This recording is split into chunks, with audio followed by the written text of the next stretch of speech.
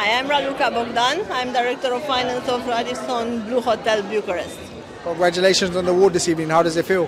Thank you very much. It feels amazing. I'm honored to be here tonight and to accept this award on behalf of the dream team from Bucharest Hotel. Fantastic. What does this award mean to the company? It means actually we accomplish everything that we have set up as a goal. So it's a great, great achievement on our behalf. Fantastic and congratulations. Thank you so much. Thank you very much. Thank you.